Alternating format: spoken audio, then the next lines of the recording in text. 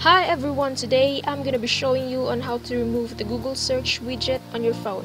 For me, I find it annoying on my home screen, so I decided to make a video for it. Well, I'm talking about the Google search right here at the top.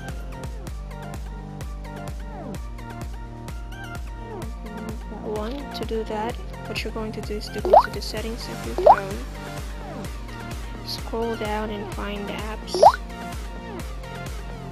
we're going into the section of um, there's actually SD card downloaded running and we're going to all all the process all the applications that is installed on your phone.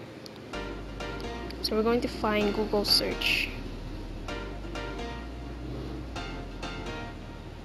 Google search right here.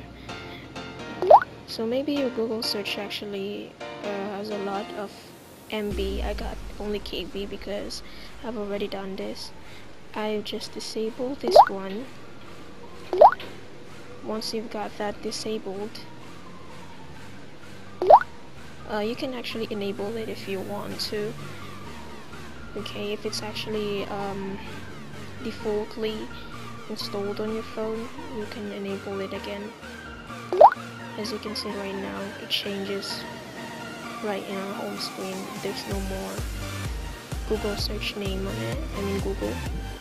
So after that what you're going to do is to restart re reboot or turn off your Android phone.